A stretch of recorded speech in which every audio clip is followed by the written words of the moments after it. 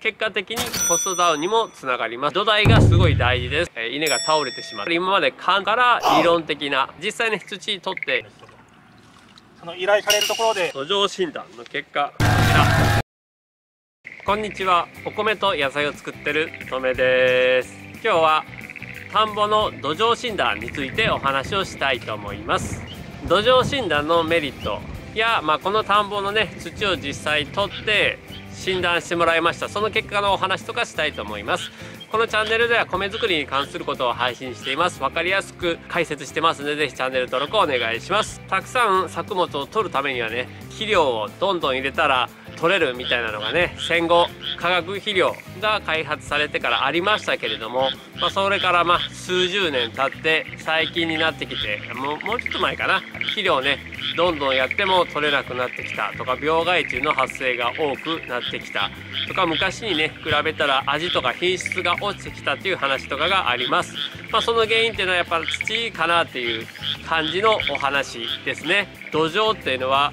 その上にね作物稲育ちますんで、え土台がすごい大事です。その土台がどういう状況かっていうのを知るために土壌診断があります。土の状況を調べるためにどういうものがあるかって言ったら1つ目は化学性。で2つ目は物理性。3つ目は生物性。1つ目の化学性っていうのはその土地にねどんな栄養分があるかっていうのを調べたり、まあ、そのどれだけ栄養を蓄える力があるか。とか調べることです。2つ目の物理性っていうのはこの土のね、通気性とか排水性とかそういうもの物理的なものを見ます。で生物性っていうのはこの土の中にどんな土壌生物の量がどれぐらいとか種類がどれぐらいとか生態系のバランスとかねいろんな関係性を見るものです。で土壌診断っていうのが1番目の科学性を重点的に見るもののことです。土壌診断のメリット1つ目が作付け前に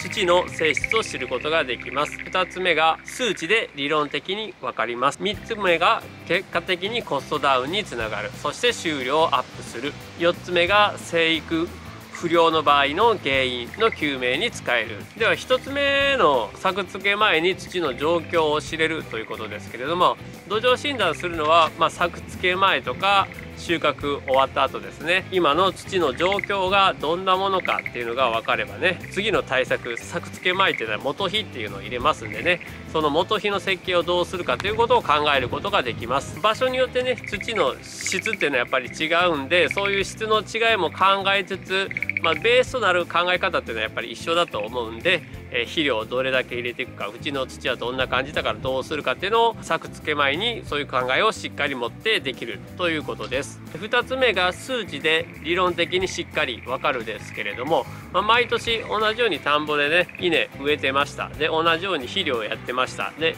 いつも通り同じようにやってたら土の状態はいつも通り一定に保たれるかというとそうではありません。でやっぱり天気が良くて非常に好条件だったでたくさん取れたっていう年もありますし天気悪くて日照不足とかもしくは暑すぎてうまくできなかった虫がたくさん発生したとかいろいろ条件ありますけれども年によってやっぱばらつきがありますね。で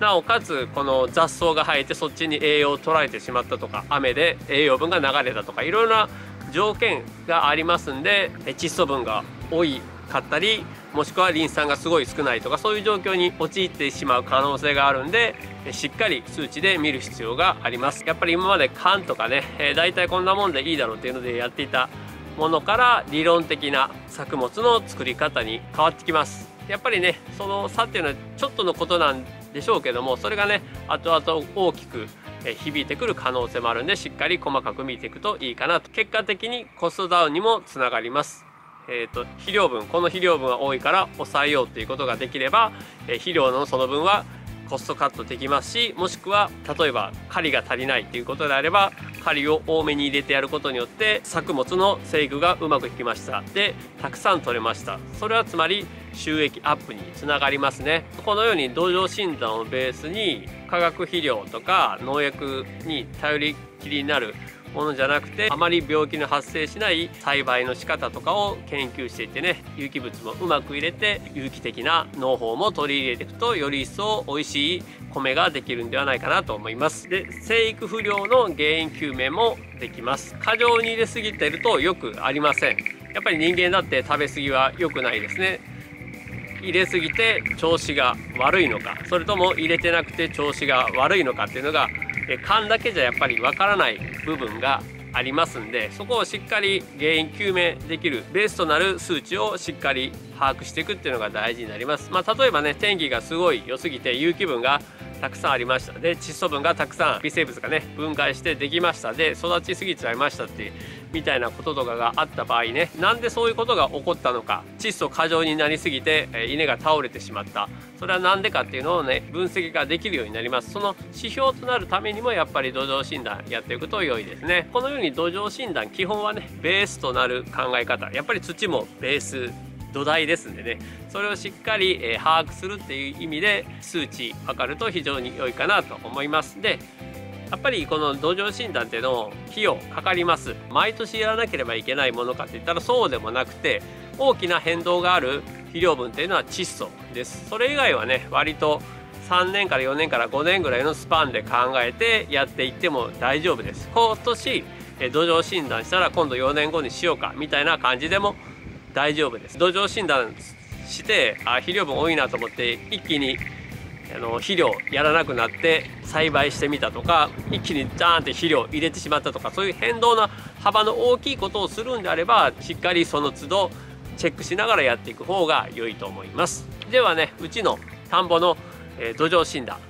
について今度は話していこうかなと思います。実際ね土取ってやってもらいました。でこの土壌診断ね近所の清水農園の清水さんがやってたんで僕も一緒にやってよということでお願いしたんでそれをちょっとその様子見てください。これどれぐらいの深さを？これ大体、まあ、10センチから15センチぐらい掘ってもらって、はい、そのぐらいの地層を取ってもらうのがいいかなっては言われてるんですけど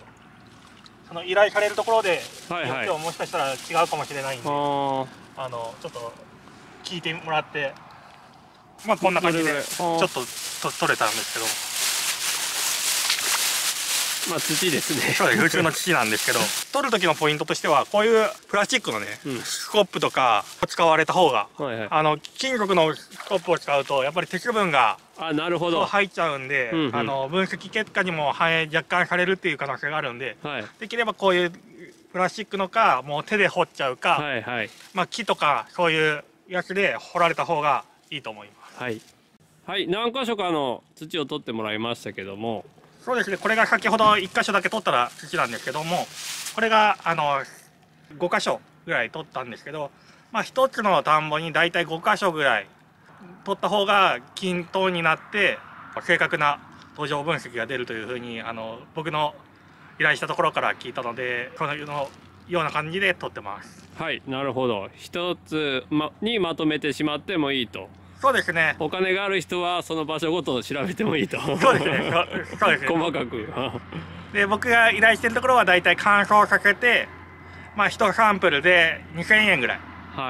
かかるんですけども、はい、場合によってはもうこの生のまま乾燥させずに調べてくれるところとかもあるみたいなので、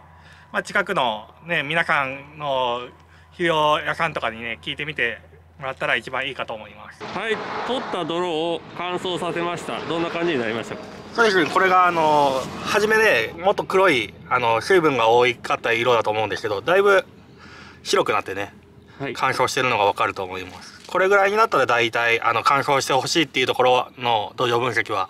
OK かなっていうふうに思いますはい。乾燥させたやつを出してくださいというところはこういう感じで出してみてください。うちの土壌診断の結果こちら。届いております。じゃじゃーん。どんな数値に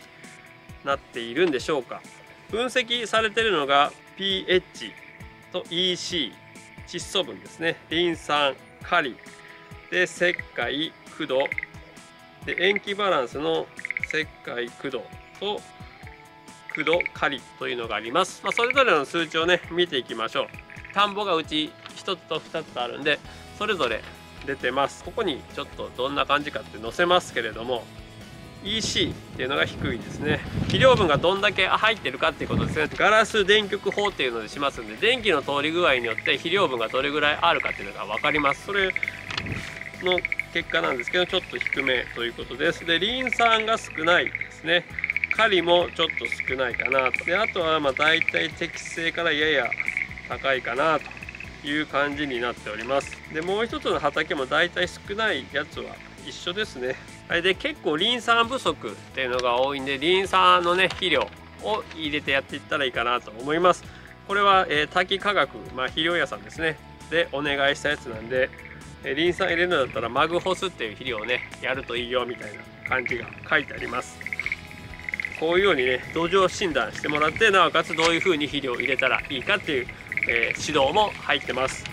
まあ、やっぱりね土壌診断を通じて次何を買ってもらおうかみたいな企業の戦略もあると思います。でまあ そういう感じなんで、まあ、よりね、えー、こうやっぱりしてもらったら先科学のねマグホス入れたらいいのかなとかね滝コート入れたらいいのかなと思いますけどもね企業の戦略にも乗りつつしっかりそのデータを取ってうまくやっていければいいかなと思います。